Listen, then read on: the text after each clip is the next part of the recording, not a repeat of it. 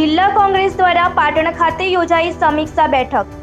સ્થાનિક સ્વરાજ્યની ચૂંટણીને ધ્યાનમાં લઈને યોજાઈ બેઠક. ગુજરાત પ્રદેશ કોંગ્રેસ અધ્યક્ષ અમિતસિંહ ચાવડાના નેતૃત્વમાં ખાસ બેઠક બોલાવવામાં આવી હતી. આવનાર સ્થાનિક સ્વરાજ્યની ચૂંટણીને અનુલક્ષીને પાટણ જિલ્લા કોંગ્રેસ સંકલન સમિતિ સાથે ગુજરાત કોંગ્રેસના પ્રભારી શ્રી રાજીવ સાતવની જીની વિશેષ ઉપસ્થિતિમાં પાટણ જિલ્લા કોંગ્રેસ સમિતિના પદાધિકારીઓ, ધારાસભ્યશ્રીઓ કાર્યકર્તાઓ સાથે સંગઠન તેમજ સ્થાનીય પ્રશ્નો પર સંવાદ. આવનારી સ્થાનિક સ્વરાજ્યની ચૂંટણીમાં કોંગ્રેસને મજબૂત બનાવી ધારી સફળતા મેળવી વિજય બનાવવાના લક્ષ્ય સાથે બેઠકમાં સમીક્ષા કરવામાં આવી. આ બેઠકમાં ગુજરાત કોંગ્રેસ પ્રદેશ પ્રમુખ અમિતસિંહ ચાવડા, પાટણના ધારાસભ્ય કિરીટભાઈ પટેલ, પાટણ જિલ્લા કોંગ્રેસના હોદ્દેદારો તેમજ કોંગ્રેસના કાર્યકર્તાઓ મોટી સંખ્યામાં હાજરી આપી હતી. District reporter Hitesh Makwana Patan. કરવામાં આવશે. નગરપાલિકાના ઉમેદવાર હોય તો એની પસંદગી પ્રક્રિયા નગરપાલિકા લેવલે થશે. તાલુકાના ઉમેદવાર હોય તો એની પસંદગી પ્રક્રિયા તાલુકા લેવલે થશે.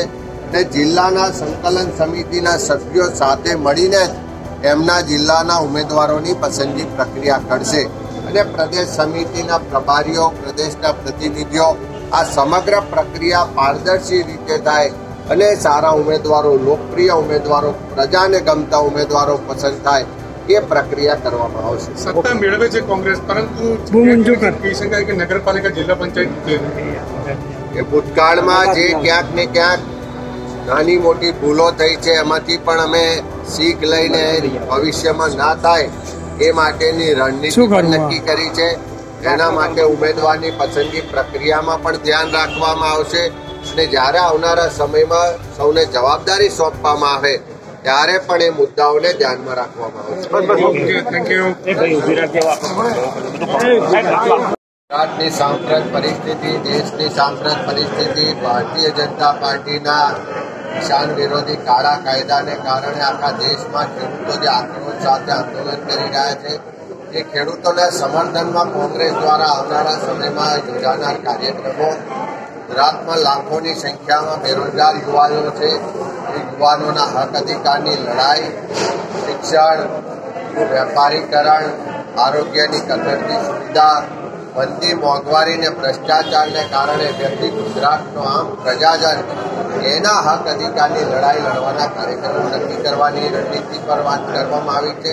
અને ખાસ કરીને સ્થાનિક સ્વરાજની ચૂંટણીઓ, જિલ્લા પંચાયત, તાલુકા પંચાયત અને નગરપાલિકા આવનારા ટૂંક સમયમાં આવવાની છે એવા સંજોગોમાં સ્થાનિક સ્તરે ઉમેદવારોની પસંદગી પ્રક્રિયા થાય. લોકોને ગમતો ઉમેદવાર, લોકો દ્વારા સજેસ્ટ કરેલો ઉમેદવારને પાર્ટી પસંદ કરે. એ બાબતે સંગઠનના અમારા હોદ્દેદારશ્રીઓ ચૂંટાયેલા પ્રતિનિધિશ્રીઓ ધારાસભ્યશ્રીઓ અને તમામ કોંગ્રેસના પરિવાર સાથે આજે અમારા સંગઠન પ્રભારી સાતવજીની ઉપસ્થિતિમાં વિસ્તૃત સંવાદ થઈ રહ્યો છે.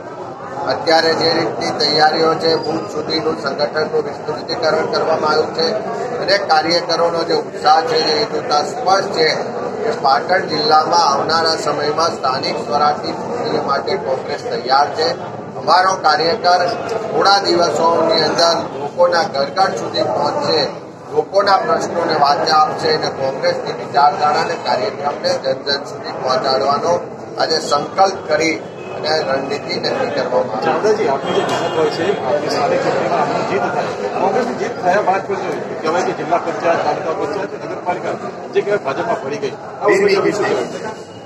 કેટલીક જગ્યાએ ચૂંટાયેલા લોકો દ્વારા પ્રજાને પક્ષ સાથે દ્રોહ કરી અને પોતાની વ્યક્તિગત મહત્વાકાંક્ષા અને પૈસા માટે પક્ષ પલટો કર્યાના કિસ્સા ધ્યાનમાં આવ્યા છે.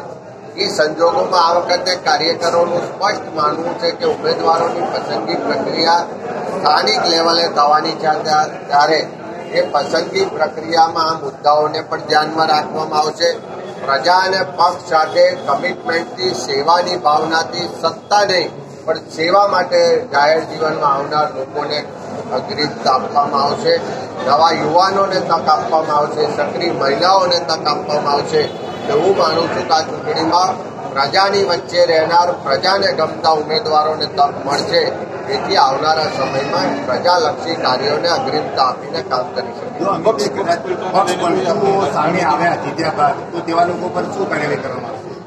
પક્ષ તો પલટો કરનાર કે ભૂતકાળમાં પાર્ટી વિરુદ્ધ કામ કરનારને કોઈને પણ આ ચૂંટણીમાં પાર્ટી તરફથી ટિકિટ આપવામાં નહીં આવે.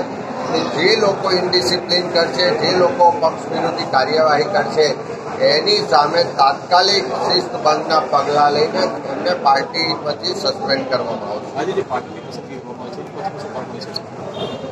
અલગ અલગ જિલ્લાઓમાં જઈ રહ્યા છે. ગઈકાલે અરવલ્લી ને સાબરકાંઠા જિલ્લો હતો.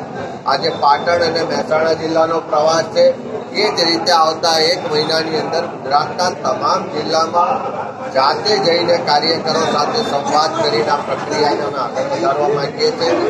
પક્ષમાં ઉપડતી ઉમેદવારો ઠોકી બેસાડવાને બદલે તાલુકા કક્ષાએ, શહેર કક્ષાએ અને જિલ્લા કક્ષાએ આગેવાનો અને સ્થાનિક કાર્યકરો મળી અને પ્રજાના અભિપ્રાય લઈને ઉમેદવારોની પસંદગી પ્રક્રિયા કરે એ રણનીતિ સાથે અમે આગળ વધીએ છીએ. અને જે રીતે કાર્યકરોનો ઉત્સાહ છે એ જોતા સ્પષ્ટ લાગે છે કે કોંગ્રેસ આવનારી ચૂંટણીઓ લડવા